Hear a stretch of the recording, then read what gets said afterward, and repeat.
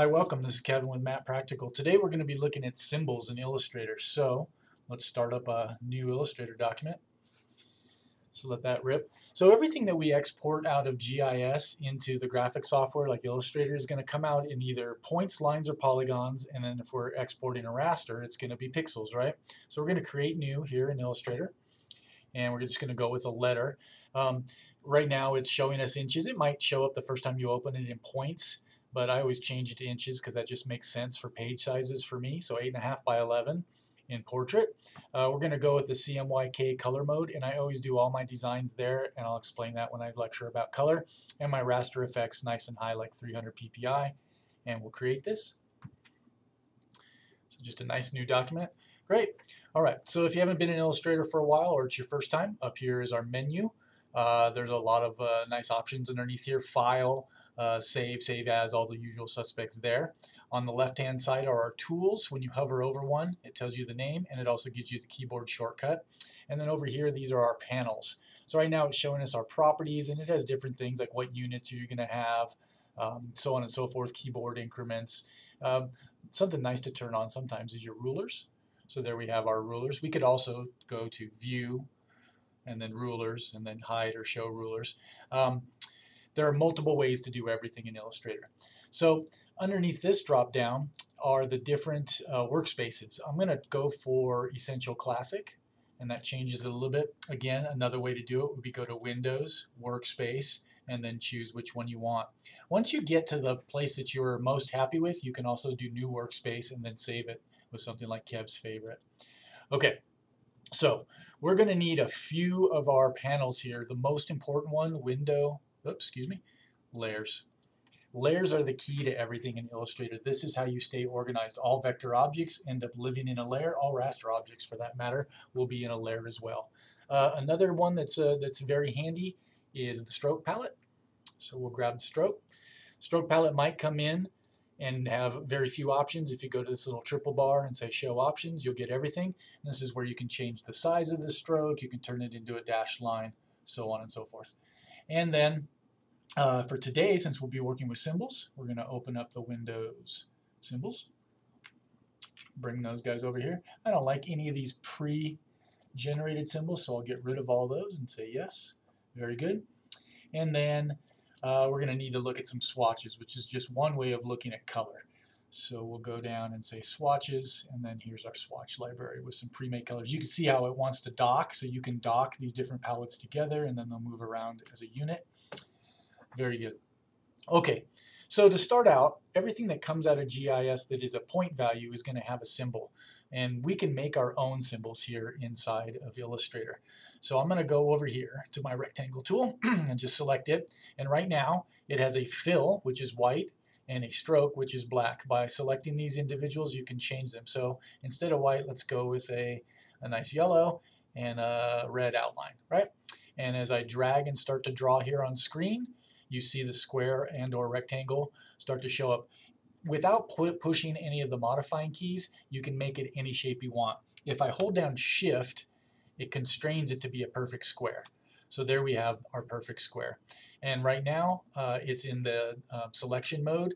Direct selection would allow you to look at the corners. Let me zoom in. I'm going to do Control Spacebar, gives me my zoom tool. Zoom in. Any tool that you are in, when you do Control Space, takes you right to zoom and then it pops back. So right now I have this, this tool here, which is direct selection, which allows me to select individual corners. So I could grab one of these corners and stretch it out if I wanted to. I don't want to do that today. Um, the V tool or the selection tool gives me uh, more of these kind of um, pull-out toggles. And if I hold down shift and grab a corner, I can resize this thing proportionally. If I didn't hold down shift, I'd be able to actually warp it. You know? Okay, so this thing has a yellow fill and a red stroke. The stroke palette will allow us to change the stroke size. So you can see it getting bigger. Um, I can change what the corners look like. Right now they're square. They could be rounded or they could be mitered. We'll go with uh, square ones for now. And we'll take this back down to say one stroke. Okay, so that's how we make a vector object. Now this object can be turned into a symbol. So once I have something selected, if I go to my symbol palette from the little drop down here, new symbol, this will pop up and let's just call this town, for example. And then I always like to change my symbols to graphics that are static and say OK. And now you can see that this is a symbol. It also has changed what's on screen, gives us this little center point in it. So now we have a town symbol. We can drag those right onto our workspace and they will match exactly the original one that we made. Okay, so I'm going to delete those. Now where is all this stuff living? Well, they're living over here in layers. In layers, we have one symbol of town. I'll drag another town symbol over. There we go. Now we have two symbols of town. This layer should be called something uh, instead of just layer one. If you don't name your layers, it gets really confusing. So we'll call this our towns. Or actually, I'm going to call it symbols because I'm going to put lots of things in here. Um, when you export your layers out of uh, ArcGIS, they will be pre-named, but you still end up making some of your own layers. So you can do a lot of things over here in the layer palette. You can lock it, and then we can't select anything on screen. You can make things disappear with the eyeball or turn them back on. You can also go to individual objects and uh, make them disappear one at a time. Um, you can just double click on the name to rename it. If you double click on the little uh, icon next to it, it allows you to change the color and I always like to have a color that isn't in the color of the object, so we'll go with something like burgundy. Let's see. Uh, that makes it hard because there's already red. I'll try something else. How about a blue? There we go, light blue. There we go. So there's the colors of the selection. All right. So always have your layer palette open, be looking at your actual layers. So I'm going to get rid of uh, one of these, and we're going to make another one using our tools over here. From the drop down next to the rectangle tool, there are other options. The ellipse tool lets us make circles. So let me change what I've got going. I'll go with a dark green stroke and a lighter green fill. Great. And now I'll start to draw a circle. If I hold down shift, it makes it a perfect circle again. If I hold down the space bar at the same time, it lets me move it as I draw it. Uh, or I can just uh, go ahead and move it after the fact. I can move things with uh, the keys. So this is moving it with the arrow keys up and down, left and right. Um, if you have a very small increment, you can uh, increase that by holding the shift and then it does it times 10. All right. And uh, this could be uh, another version of our town or this could be a point of interest, right? So we will do new symbol, POI, graphic, static, okay. Boom, now it's another symbol. Now I'm going to go in here and do one more. Um, polygon tool and the star tool lets you do basically the same thing. The star tool is mostly for stars, but you can create a star also with the polygon tool. But let's go ahead and grab our star tool. Let's change our colors one more time. Let's go with a light blue fill and a dark blue stroke. And as I start to draw, hold down my space to move it. If I do shift, it squares it up. Um, now, with the star tool, if I were to hit the up and down arrow keys, it changes the number of points on the star. So there's a standard one. You can go down to just a four point, or eventually it becomes a triangle, right? So I'm going to go back up to our five point star. Uh, if I hit shift, again, it'll line it up. If I hit alt, it makes it sharp, and that's what we want. Instead of it being kind of like a Carl Jr. star, we're going to go with a sharp star. So there we go. And that might be our capitals. So we're going to go make another symbol and call this capital. And that's a graphic, static. Okay. All right. So now we've got a few symbols. Um, you can also make vector objects that are multi-part. So what if I were to go back to a black stroke and a white fill and then go in and get my star tool again. I'm going to start my star. I'm going to hit my arrow keys down until I have a triangle and go ahead and make it roughly the same size as everything else. I hold down the shift again so that it squares up to the page, let it go, and then I could draw another one or I could get my direct selection tool and if I hold down the alt you get these two little double arrows down there it makes a copy of it and then I'm going to hold down shift and resize this guy and move it right down here and I'm going to go ahead and make it black fill okay so now I've got two triangles. What does this look like? It looks like a camping symbol, right? So if I select both of them, before I turn them into a symbol, depending on which tools you're using, you get different options up here in the menu. So in this particular case, we've got some nice align tools. I'm going to align these center and then align them on the bottom. And now I have a pretty decent little camping symbol. So I'll go ahead and create a new symbol.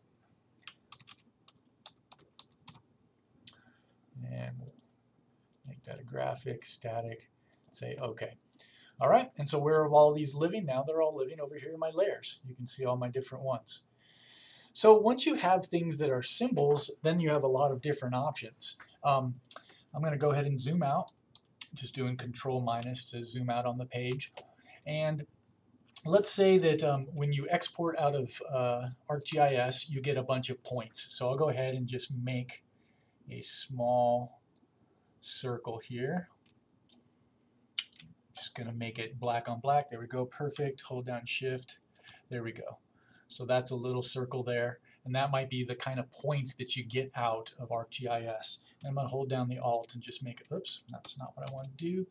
Hold down my Alt and see if I can make some copies. Yep, so let's just say you had, you know, a bunch of populated places come out of ArcGIS. I'm going to go ahead and delete these symbols because I don't need them. I have them in my symbol palette. I can bring them out anytime I want. So here I have just some good old vector objects that came out of ArcGIS. And those are representing my populated places. Um, once I brought them out, if I wanted to say, okay, I'm just going to put the town symbol in here, and then I'm going to drag a selection over everything. So the symbol that I drug onto the artboard and all of my um, populated places. And I'm going to go up to File, Scripts, and I'm going to use this great script. And you can get this script from Kelso Cartography. I'll link it in the bottom of the description of the video. Find and replace graphics centered. And what it's going to do is replace all of those original vector objects with the symbol that I drug out on screen. Ta-da! And now we have all of these guys as towns. But it turns out my town symbol is just too big, right? So what if I were to go in and double click on my town? Now I'm able to go ahead and, um, and modify this thing. So if I go ahead and get my V tool and I'm going to shrink it down, holding the shift down, making it smaller, then I'm going to hold down the um, space bar to move it. Is that going to allow me? Well, I can just drop it off. It is important to move it back to center. All right, so with this symbol, it's important that this little center be lined up right in the center of things. Not no crosshairs. Okay, so right now I've been modifying my symbols, so I'll go ahead and uh, exit my symbol. And what you'll see is that on screen, everything has been modified as well. Um, and we can do, we can kind of compare it to my old symbols. If you select one and you go up to replace, now you have the option to replace them with all of them. So the capital, you can see how much bigger the capitals were.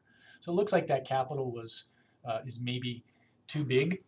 Um, you could do a lot of things. So I could go in and uh, replace uh, that capital or modify it. I could also break the link. So right here, I could break the link and now it's just a vector object. And then I can go ahead and make it smaller. Sorry, what am I trying to do? There we go. If I hold down Shift and Alt at the same time, it will um, reduce its size but stay in the exact same location. And that's more like it. And now I would make a new symbol. Right, so this would be uh, Newtown, or New Capital actually.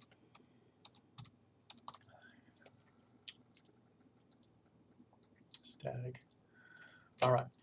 Um, it's a really, really powerful tool with symbols. So once you have your things turned into symbols, it's very easy to replace them. So let's say actually this wasn't a town, it was camping. We can go up and just replace it with the camping symbol. If it was too big, we could modify it or reduce the overall size. Now there are some decent map symbols in here if you look for them. So again, just kind of the way we did the swatch library, if we go to symbol libraries, go down and find maps, and then all of these symbols show up and you know they can be helpful. Um, certainly the uh, the camping symbol that they have, we could drag that over. The parking symbol, right?